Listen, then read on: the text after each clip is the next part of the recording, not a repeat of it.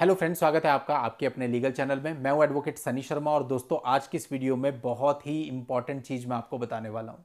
दोस्तों, एक ऐसा लेटेस्ट निर्णय बताने वाला हूँ, जिससे वास्तव में आपको पता चलेगा कि भैया, चीज़ें किस तरफ़ जा रही हैं। और यहाँ पर एक्चुअल में आपके लिए रास्ते बंद हो चुके हैं। दोस्तों, हाल ही का 22 अप्रैल 2022 का निर्णय। और निर्णय बिल्कुल ऐसा है जो कि ज्वलंत मुद्दे पर है। ज्वलंत मुद्दा क्या? इंट्रीम मेंटेनेंस आज के समय पे बहुत सारे आप में से ऐसे सफ़र होंगे जो ये कहते हैं कि किसी भी तरह से जो वाइफ है, वो मेंटेनेंस की अधिकारणी नहीं है। लेकिन कोर्ट का ये मानना है कि भाई अभी आप इंट्री मेंटेनेंस तो दो, फिर आगे ट्रायल में देखते हैं। लेकिन इंट्री मेंटेनेंस पर उसका एरियर और पर मंथ का जो दबाव होता है, वो इतना बढ़ जाता है कि उसको लगता है कि मेरे साथ अन्याय हो रहा है। इस प्रकार के बहुत सारे कमेंट्स आप देखते हैं, जहाँ पर लोगों ने ऐसा किया होता है कि भाई मेरे साथ गलत हो रहा है, ये चीज़ गलत हुई है। अब दोस्तों, इस पर एक बहुत इंपॉर्टेंट जजमेंट आया है एंट्री मेंटेनेंस पर। देखिए, अगर आपका एंट्री मेंटेनेंस ऐसा बन जाता है जो आपके हिसाब से अनरीजनेबल है तो आपके पास क्या ऑप्शन होता है? आप हाई कोर्ट में जाते हैं। इसी पर दोस्तों निर्णय दिया गया है। अभी मैं पूरा मामला आपको समझाने वाला हूँ कि क्या और कैसे निर्णय दिया गया है और आपका कौन सा राइट इससे खत्म हो सकता है। दोस्तों, वीडियो में आखिरी तक बने रहिएगा। ये नया चैनल है, इसको ज़रूर सब्सक्राइब करके नोटिफिकेशन बेल पर क्लिक कर दें और जितना हो सकता है शेयर करें। अब दोस्तों, यहाँ पर इंट्री मेंटेनेंस का एक ऑर्डर हुआ। और इस इंट्रीम मेंटेनेंस के ऑर्डर के अगेंस्ट पति और पत्नी दोनों ने रिवीजन फ़ाइल करी under section 397 oblique 401 of CrPC में।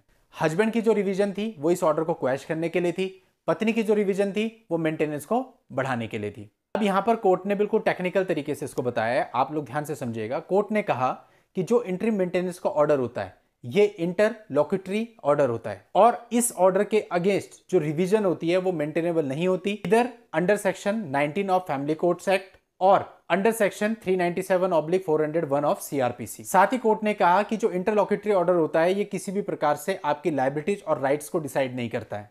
और जो भी आप रिविजन फ़ाइल करते हो, वो उसी ऑर्डर के खिलाफ हो सकती है जो फाइनलिटी में हो। तो ये जो ऑर्डर है, ये फाइनल ऑर्डर तो है ही नहीं। तो ऐसा जो इंटरलॉकेटरी ऑर्डर होगा, इसके खिलाफ आप रिविजन फ़ाइल नहीं कर सकते।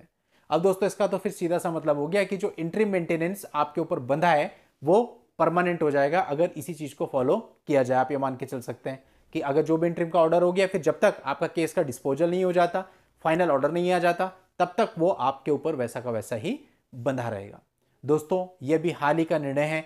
राजस्थान हाईकोर्ट ने निर्णय दिया है। और दोस्तों आप ये डिसाइड कीजिए कि निर्णय आपके लिए कैसा है। कोर्ट ने यहाँ पर दोनों की ही रिविजन पिटिशन को एडमिट नहीं किया। दोस्तों, इस जजमेंट का लिंक आपको इस वीडियो के नीचे डिस्क्रिप्शन में मिल जाएगा।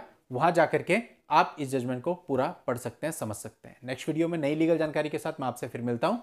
तब तक के लिए goodbye and thank you for watching take care